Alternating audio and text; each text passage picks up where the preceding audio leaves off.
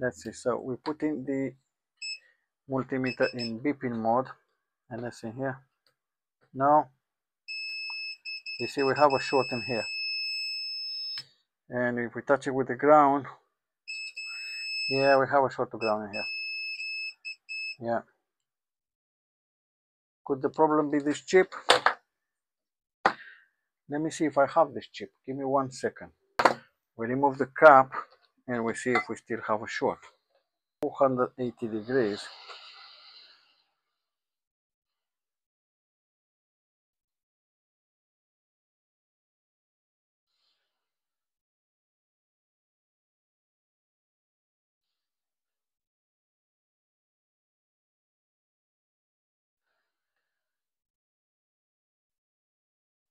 Okay.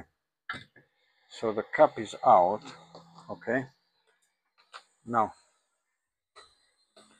here to here. Yeah we still have a short okay? Now let's put this cup aside so we don't lose it. Now let's remove the chip